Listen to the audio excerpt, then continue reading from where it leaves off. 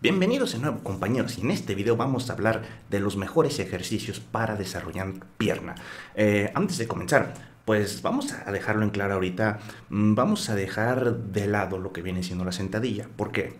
Evidentemente, estos ejercicios son a mi opinión y para mí la sentadilla es uno de los ejercicios, y no es que el ejercicio que debes hacer para desarrollar pierna, pero he notado que muchos de ustedes me dicen, oye, necesito hacer sentadilla, no puedo hacer sentadilla, eh, alguna rutina que no incluye la sentadilla, y entonces pues voy a incluirles una pequeña lista de ejercicios que van a desarrollar buenas piernas, porque hombres necesitan hacer pierna, déjense de cosas, hay que, hay que tener la pierna trabajada, eh, no a nivel de Tom Platz igual, o sea, y si te quieres poner así, pues adelante, pero hay que tener la pierna desarrollada. Entonces, uno de los ejercicios que para mi opinión son los mejores, excluyendo la sentadilla, que esa sí o sí tiene que ir en tu rutina, pero si no la puedes hacer, no la quieres incluir, no la razón que tú quieras, no quieres meter la sentadilla, bueno, empezando, la extensión de cuádriceps. El cuádriceps como tal, su función anatómica es la extensión de la pierna. Entonces aquí pues estamos trabajando de manera directa lo que viene siendo la función del cuádriceps. Aquí hay que tener en cuenta que para este ejercicio a veces las personas se emocionan con el peso, le ponen demasiado peso, aunque tengas la fuerza necesaria para moverlo. No es un movimiento donde ocupes meterle kilos y kilos, no. Es un movimiento donde lo tienes que hacer a buen rango de movimiento, eh, inclusive mantener una buena contracción isométrica. Este es un ejercicio más de conexión mente-músculo, sentir el, el, cuádriceps trabajando. No es necesario meterle, como te digo, 100 kilos, en, o sea, no, porque aunque seas capaz de hacerlo, es demasiado estrés a las rodillas, a los ligamentos, articulación, no le tiene mucho caso. Esto en especial te va a ayudar muchísimo, tiene mucho beneficio cuando ya traes un porcentaje de grasa bajo, porque seamos honestos, las piernas se ven mejor cuando traes poco porcentaje de grasa. Aunque tengas más tamaño, estando con más grasa, evidentemente no te vas a ver tan bien, tienes que tener poco porcentaje. Pero bueno, otro ejercicio muy bueno, las aducciones. Las aducciones te van a trabajar, digamos que la parte interna de la pierna y este es muy bueno en especial si vas a posar, tomarte fotos, lo que tú quieras. Normalmente uno va a hacer como que las rodillas están así frente, las vas a hacer hacia afuera un poquito las rodillas y el trabajar los aductores te va a dar una forma más completa, más, este, más llena de la pierna. Es un ejercicio que te va a dar muy, muy, muy buena, este, puede ser complementario para otros ejercicios este, más de potencia, sentadilla por ejemplo. Pero bueno, nos estamos enfocando en esa pierna, las aducciones en máquina especialmente, muy buenas para darle esa forma más llena de más ángulos muy necesarios para competidores, competidoras, eh, dependiendo pues de cada quien, ¿verdad? Pero bueno, dejan también de lado a las aducciones. Uno que me gusta mucho, trabaja también lo que viene siendo mucho eh, el glúteo, la pompa, que muchos hombres... Desafortunadamente todavía tenemos esta creencia tonta algunas personas de que, ay no, el glúteo solo lo trabajan las mujeres y demás, no, o sea, Simplemente para potenciar la sentadilla y el peso muerto necesitas el glúteo. Y si eres un atleta, si quieres potencia, si quieres explosividad, si quieres todo esto, necesitas trabajar femoral y glúteo. De ahí viene toda la potencia. Viene siendo lo que este, la sentadilla búlgara o desplante búlgaro, como le quieras decir, muy buena para este, sustituir en cierta forma la sentadilla, en especial si le haces de verdad muy muy baja, muy rango este, de movimiento muy bajo, te va a trabajar muchísimo dependiendo qué tan alejado del banco te pongas, le das un poco más de énfasis al cuádriceps o cuádriceps o al glúteo, pero es muy buena también para sustituir la sentadilla si digamos no puedes por algún problema de la espalda, lo que tú quieres, lo que te estés padeciendo, simplemente con unas mancuernas y haces lo que viene siendo pues la sentadilla búlgara, lo cual también eh, no ocupas mucho peso, Puedes hacerlo con mucho peso, con las mancuernas, mm, pero mira, se puede. O sea, recuerden que el ponerle mucho peso es relativo a cada persona. Pero este es un ejercicio también muy, muy, muy bueno, en especial para personas que quieren mejorar su capacidad salto vertical, ese junto con los desplantes. Yo prefiero más la sentadilla búlgara que los desplantes, pero bueno, eso puede puede acomodarse a cada persona que, que, le sirve más, que le sirve menos. Pero bueno, otro ejercicio muy, muy, muy bueno es la sentadilla hack. La sentadilla hack es buenísima para darle...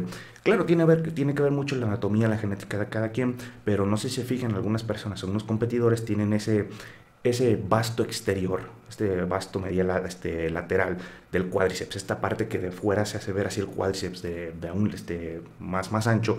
La sentadilla hack te va a trabajar muchísimo eso es un poco complicada al principio, si nunca la has hecho no ocupas ponerle demasiado peso porque bueno, primero es el movimiento, es muy buena para aprender forma completa porque pues como te estás sosteniendo acá arriba de la máquina, tiene soporte, te ayuda un poquito a liberar la presión lumbar, te trabaja dependiendo qué tan abierto, qué tan cerrado pongas este, lo que viene siendo los pies, te va a trabajar evidentemente todo el cuádriceps, pero pues da cierto énfasis a cada parte, es como decir que hacer cierto tipo de abdominal te trabaja el abdomen superior, inferior, no estás trabajando todo simplemente con diferente ángulo, diferente énfasis a partes, pero pues es muy muy muy buena también para el cuádriceps buen sustituto, bueno, bueno, entre comillas, es este, una buena opción si no quieres utilizar sentadilla, porque ya saben, esta lista no quiere incluir sentadillas por diferentes formas, ¿verdad?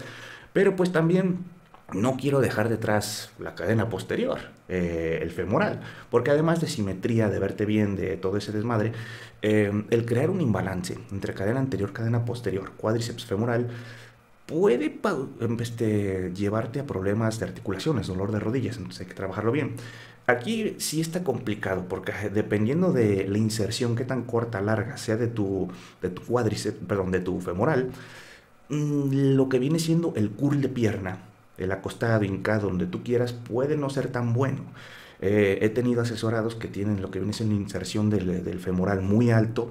Este, cuando me refiero a alto, si esta es tu rodilla y este, este es el femoral, lo tienen un poco más despegado, entonces no se trabaja también es muy parecido al bíceps. Recuerden que al fin y al cabo el femoral es el bíceps femoral, trabaja igual, tiene en sí la misma forma que el bíceps braquial, por eso le llama bíceps femoral, evidentemente. Entonces sí tiene que ver mucho por el largo de tus piernas y todo eso. No lo pondría tanto en esta lista porque como te digo, tiene que ver mucho con con la estructura, la que sí metería para femoral y es muy buena es el peso muerto rumano con mancuernas, si se puede, en un step, en un banquito, porque esto te puede ayudar a un mayor rango de movimiento, este al estirar más la fascia muscular del femoral, entonces puede causar, llevar más hipertrofia, claro, si tienes la movilidad, porque digo, si no tienes la movilidad para pues bajar más, para estirar más el femoral, lo único que va a hacer es lesionarte, vas a meter la lumbar, vas a empezar a hacer el levantamiento de, espalda de gato y no queremos eso, ¿verdad? Eh, uno también que metería para completar esta lista eh, viene siendo los puentes. Los puentes sí es un trabajo directo al glúteo, es un, este, un ejercicio que puedes meter mucho peso, en especial ayuda a desarrollar más el glúteo en las mujeres porque son las que usualmente van a dar el favoritismo a este ejercicio. Si sostienes la contracción isométrica en la parte del tope aprietas la pompa, pero hombres, tienen que hacer puentes. ¿Por qué? Porque además de que, viéndolo desde el punto de vista de la vanidad, a todas las mujeres les encanta un hombre en algún. A todas. O sea, hombres ya desde ahí. O sea, el, el puente, este ejercicio, eh, este, otros nombres se le pueden conocer también, pero bueno, los puentes de toda la vida, ayudan mucho a potenciar el peso muerto y la sentadilla. Dan mucha fuerza en estos movimientos, dan mucha potencia, mucha fuerza en la cadera, lo cual pues es un movimiento completamente de sentadilla, de peso muerto, algunos ejercicios soli también entran aquí, este, la potencia de la cadera, pero pues más que nada yo te dejaría con esta lista, como te digo, excluyendo las sentadillas, hay muchos otros ejercicios, muchas variantes, que este, ejercicios unilaterales, el press de, press de pierna, algunos me preguntarán, yo no lo considero tan bueno porque puede ser un poco lascivo en lo que viene siendo la lumbar, en especial si eres de esta mentalidad de que de como de lugar tienes que hacer todo el rango de movimiento, que las rodillas te peguen en el pecho y eso, eso te puede lastimar mucho la lumbar, o sea, si lo ves este, biomecánicamente hablando, puede ser muy, muy, muy problemático. Entonces yo no lo pongo tanto, es un, evidentemente sirve, pero pues mucha gente lo usa más que el levantamiento de ego porque le pongo 500 kilos en press de pierna, pero en sentadilla con trabajos hago con 80, o sea, por eso no lo incluyo. Es bueno, por supuesto, sirve, por supuesto, pero no siento que sea de los mejores a mi pobre opinión. Digo, tú, a lo mejor tú sientes que es el mejor del mundo, adelante. Pero bueno, quiero dejar aquí este video, un video así rapidito, corto, repasando algunos ejercicios que luego me llegan a preguntar, oye, la sentadilla no quiero hacer, que esto, que el otro. Bueno, ahí tienen una lista. Espero les ayude. Ustedes coméntenme aquí, cajita de los comentarios, para ustedes cuál es el mejor ejercicio de pierna, la sentadilla o el ejercicio que ustedes quieran. Y pierna, pues evidentemente completa, ¿no? Cuádriceps, femoral, pantorrilla, bueno, pues es genético. Seamos honestos, es genético. Tenemos muchos ejemplos de personas que trabajan todo el físico, levantan mucho, se dopan y lo que quieras y las pantorrillas no se desarrollan. O sea, es genética, le duele al que le duela. Pero bueno, así toca a veces. Y aquí voy a dejar este video, compañeros. Espero les haya resuelto algunas dudillas respecto a este tema. Ya saben, contactarme para asesorías, mi manual de entrenamiento, todo esto está en la descripción del video, mi mail, mis redes sociales, todo lo demás. Y nos estamos viendo en el próximo.